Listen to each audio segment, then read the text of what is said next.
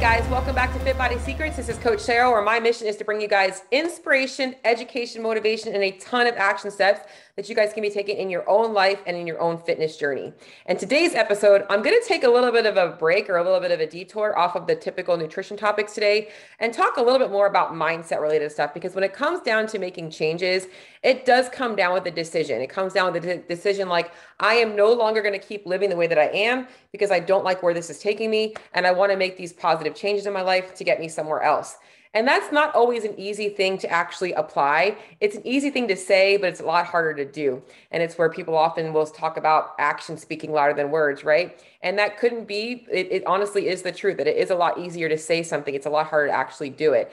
Things always seem a little easier when you first start. And and that's honestly part of the process. And it's why with all of my clients they know that i'm not looking for a short-term commitment. I'm looking for something long-term. And it's why my dietary protocols whatever their goals might be are something that is going to set them up for success not just in their fat loss phase but in their life in in the future in in the next 6 9 12 12 months on to two years, four years, six years. I want them to know that my goal is to actually have them change thoughts and behaviors, make them value different things, and still keep the things that they do value close at heart, but knowing that they have the empowerment and confidence to be able to change those things. And I'm going to be honest, guys, today's topic, I'm probably going to, it's just going to be one of those flowing topics because it's something that I'm super passionate about. And when I know that I can make an impact on people, and they are changing these beliefs about themselves. They are changing the way that they react to things.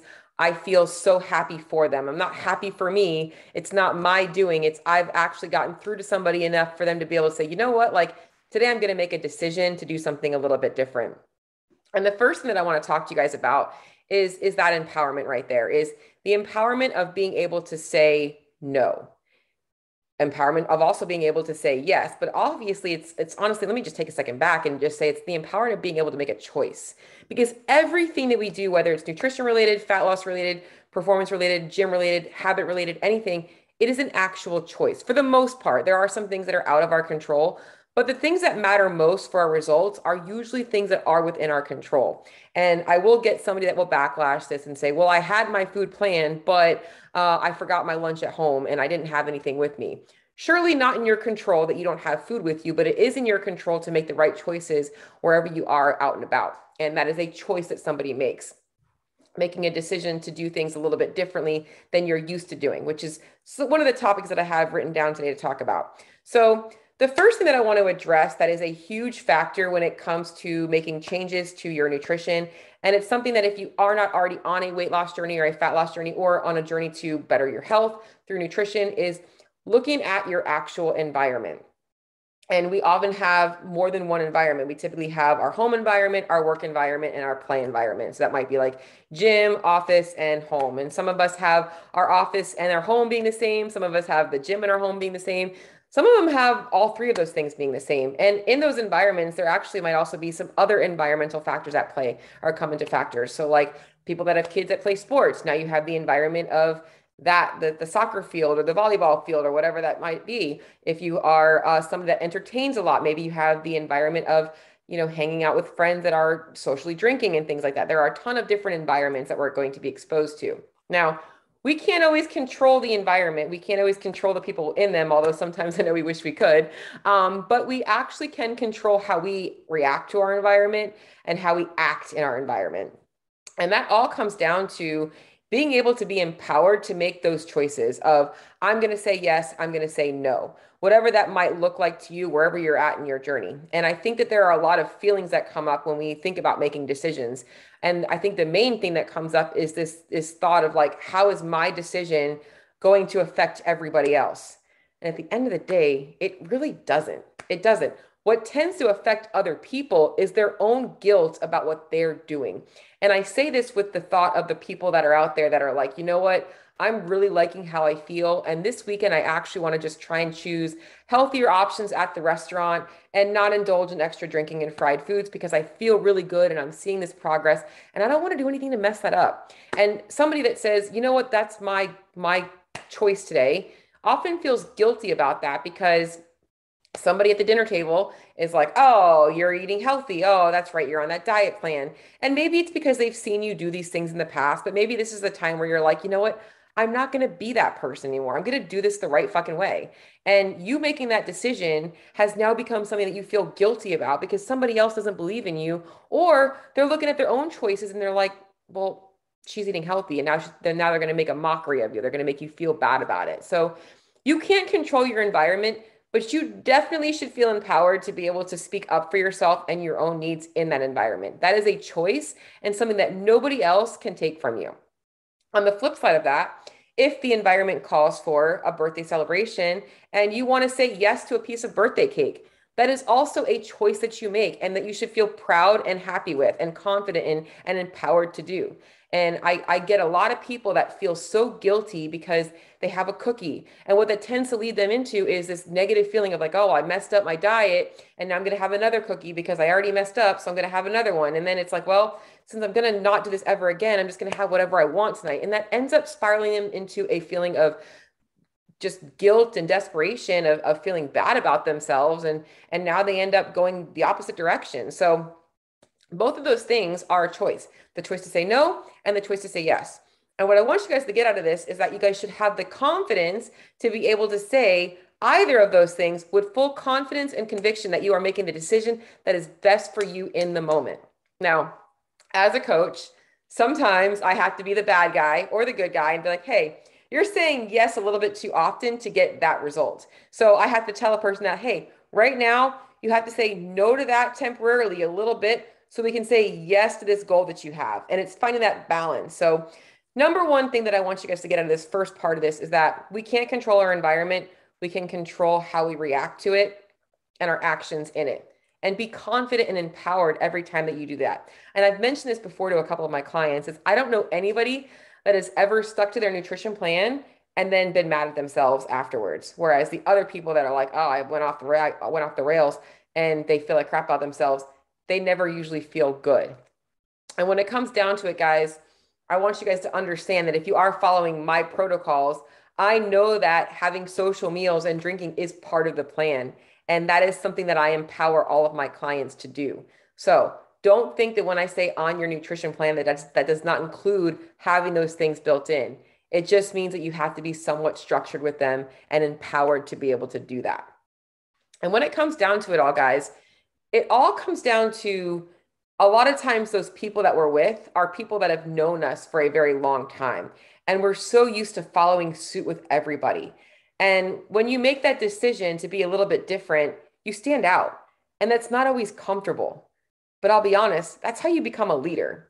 And who knows, maybe you inspire two or three other people at that table to be able to, you know, make those positive changes for themselves. Maybe you've now inspired somebody else at the table to order something healthier you know and, that's where you end up becoming a leader that develops a, a following a group of people that now support you and and i totally get it that sometimes that's really hard to find in a lot of families that other people just don't understand and and that is also very difficult that you're always going to kind of be that outlier and that's okay you know, I, will be honest, I eat the healthiest out of everybody in my family, but my family still loves me unconditionally. And do they know that they're often going to have to make something different for me because I don't eat a lot of the same foods? Absolutely. But it's something that over the years, they have been actually very conditioned to. Honestly, it, it, it's something that I'm, I'm very proud of that when I was 19 years old and I, and I made that decision for myself, that at the beginning it was hard, but now over time, it's, I feel very supported that they're always there to be like, hey, Cheryl, what do you want to eat tonight? So we can make sure we have that available for you. So you'll be surprised. The people that love you and care about you will always be there for you. So, number one is controlling yourself and your environment.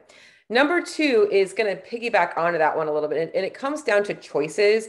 And I'm going to be honest, I think that people try and keep too many options. It's it's hands down why people have a hard time with things like tracking their food, macro counting, and things like that, but also why they often have a hard time sticking to a nutrition plan because we're so afraid of making the wrong choice that we don't make a choice.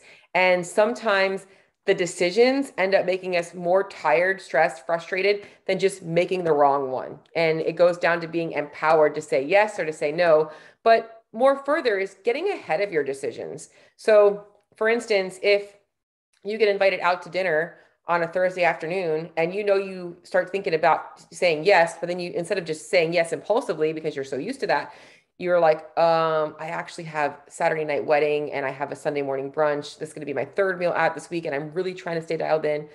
Can I say no to this social event, or can I say yes and and see where we're going and plan things ahead of time? So it just comes down to having a little bit of an opportunity to think first and think things through. And I'll be honest, you probably could say yes, but it just might mean that you might have to make the choice to have a little bit more of a dialed in meal out on a Thursday night because you have a more important meal out on Wednesday or on, on Saturday.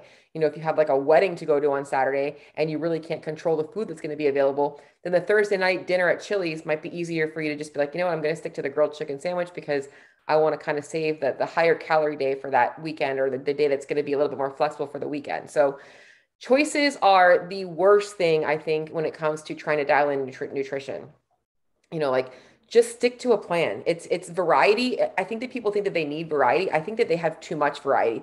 Food choices all of it. Make a decision and stick to it. And and lack of planning and impulsive decisions kind of go hand in hand. Oftentimes the people that uh, fail to plan things out also make bad food choices and bad decisions impulsively because they have no plan and they're stressed out and all of these different types of things and they're just grabbing what's convenient for them. I mean, I can't tell you how many clients I have that you know they're so busy at work they end up skipping meals and then they're they're hungry and they see the the, the you know the little container of M&Ms on the table and they just grab a couple M&Ms they're not even thinking about it you know which comes down to the, the second piece of the of the choices is like just not being educated on how to make those quick choices. And that is something that is a skill you learn. It's not something that you know the first week you start dialing this stuff in. It's something that you start to develop because you have planned ahead. Because once you've planned ahead when you go to Chili's, now the next time that somebody impulsively says, "Hey, let's go to Chili's or a similar restaurant," you know what you normally get when you're trying to beat up when you're trying to stay on track with things. So that's really the main thing is, is kind of watching that you're not leaving yourself too many options. You're just actually saying, no or saying yes and sticking to it with empowerment and confidence. The next thing that I wrote down is uh, the perceived amount of effort that something is going to require. So, um, I mean, I can't tell you how many times I will put a workout out and somebody either over or underestimates it, right? It's the same thing with nutrition. I, when I when I start when I first start off, you know, working with a client, the number one thing that I, I ask for them in week one is just to keep a food journal because I know that that is already going to be hard enough for some people. And if a person's already done that, then I might say, hey, keep a food journal and watch calorie intake and protein because I don't want the effort. I want the effort to be on the right marbles and the right things and then allow it to build on from there. So, a lot of times, though, people just tend to make things harder than they are, likely because they're giving themselves too many choices or too many options and not just making a decision, um, but also because they start to think about the things that don't really matter you know like where it's it's really easy to build meals. People tend to overthink that you know because they're so conditioned to just grabbing something at a fast food restaurant. So they also tend to always find an excuse. And and this is a common thing that the people that tend to really find something to be too difficult it's really not that difficult. They just don't want to make that change. It's it's hard to change. And it all comes down to the mindset of knowing that what's gotten you where you're at right now is not going to get you where you want to be. It's going to get you further into where you're at right now. So if you're slowly gaining weight over the years, you're going to continue to slowly gain weight if you keep doing those habits. Same thing if you keep yo-yoing your weight back and forth because you're trying a bunch of things that aren't sticking, you're likely going to keep yo-yoing your weight back and forth for the rest of your life until something else goes wrong and it ends up just climbing up, which is also not what we want. So make sure that you're not focusing on the things that don't really matter because oftentimes when I see that there is a, a, a perceived feeling of effort that's really high, it's because a person's focusing on too many things at once. Focus on the big pieces of things. And you can actually go back and listen to my episode where I talk about my nutrition hierarchy, which is going to be keeping food quality high, then watching calorie and protein intake, then kind of dialing on the macros and the meal timing and all that kind of stuff. So don't think about the things that don't matter as much as the bigger marbles the number one thing that I'm going to put in, and I would say this is number four, but those are the three main topics. But this is the number one thing that I think comes down to all of these things. There's two pieces of them. There's there's two pieces of this. There's two things that people lack that tend to make these three things, environment, choices, and effort, become so much of a detriment to their actual results. And it's lack of confidence. They don't have confidence in themselves to be able to speak up for themselves, to be able to be an advocate for what they want and what they need for their own goals. Uh, they actually don't have confidence in themselves that when they do want to choose to make the right choices that they're going to be able to enjoy themselves. They they're so hung up on what everybody else is doing and achieving and everybody else's perception of them that they don't have enough confidence to just be who they are. And that's something that is going to be worked through over time. The more you start to develop that ability to be able to say no and to say yes with that empowerment and confidence that is how you build confidence. It doesn't come from the scale. It doesn't come from you fitting into another size of clothes. It comes from you being empowered to be an advocate and speaking up for yourself. And it's why people become more confident when they lose weight because they're seeing that all of these things that they're doing, these habits that they're creating, are creating results. And it makes them feel good about themselves. It makes them happy. So most people lack confidence. How you build confidence is you start to be an advocate for yourself. And the second thing that I put on here is that there is a lot of people that lack belief, that they look at this perceived effort, these choices, this environmental thing, and they don't believe that change is possible. They actually just don't believe that what they want is ever going to be achievable because they've seen themselves fail over and over and over again. And it just comes down to probably trying a bunch of things the wrong way, focusing on the wrong things, and never really getting anywhere because you end up feeling defeated, feeling stressed out, feeling frustrated, you know, and I could totally go into a whole nother episode right now that I have written down that I'm going to talk about next week, you know, about, you know, the whole not always being in a calorie deficit and always trying to lose weight. Sometimes learning how to eat to be healthy is, is an important part of the process. It's going to actually help you lose weight faster. You know, so there's so many things that go into it, but lack of belief is is a huge one. So what I want to leave you guys with today is just a little bit of a recap here on three things that you guys can be working on and the two things that you guys need to develop by working on those three things. And so learning how to be a, be in control of yourself even when you can't control your environment, learning how to be a planner and how to say you have a decision that you've made already before that impulsive decision comes into play. And then how to really learn how to focus your efforts on the right things. And that's something that you actually might need some help with.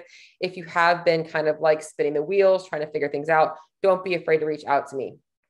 Hopefully, by dialing in those three things, you're going to be able to develop more confidence and more belief in yourself of what is actually possible. So, hopefully, this episode was helpful for you guys. If you guys have anything else that you guys want to learn about, um, anything else that you guys have questions about, please feel free to reach me, reach out to me. There is an episode, uh, I'm sorry, a podcast topic article or podcast the podcast topic form in my show notes for you guys if you guys do have specific things that you guys want me to talk about. So until next week, have a great day.